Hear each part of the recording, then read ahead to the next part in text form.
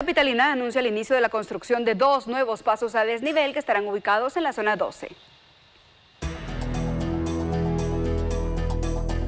La avenida Petapa se está programando la construcción de dos pasos a desnivel. Uno es sobre la 51 calle, que es un viraje en U que prácticamente va a ser subterráneo, como eh, los proyectos que se van agilizando, como también se tiene planificado la ampliación a tres carriles para que tanto sobre la Petapa, que se dirige hacia el sur, o lo que se dirige al norte, pueda transitar en tres carriles. Y de esta forma poder las personas que se van a conectar hacia la Atanasio Tzul o que van a retornar de sur a norte eh, puedan hacerlo en una forma subterránea, en una herradura sobre la 51 calle. Ahora, el otro proyecto, el otro paso desnivel está sobre la 35 calle, que este sí ya contempla no solo la vuelta en U, la herradura correspondiente, sino también una conexión que tendría muy importante hacia el Atanasio Sul, porque recordemos que el Atanasio tiene una planificación mucho más grande